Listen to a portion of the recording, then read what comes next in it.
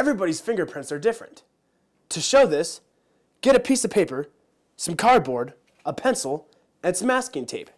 To begin, take a piece of masking tape and then wrap it around itself so you have sticky all the way around it. And then stick it down on the cardboard. Do this five times. Now after you've done that, take the pencil and rub it around on the paper. Be sure to push really hard.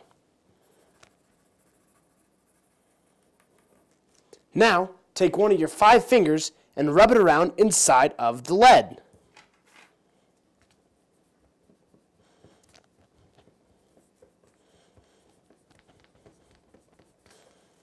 And then stick it to the backside of one of the pieces of masking tape.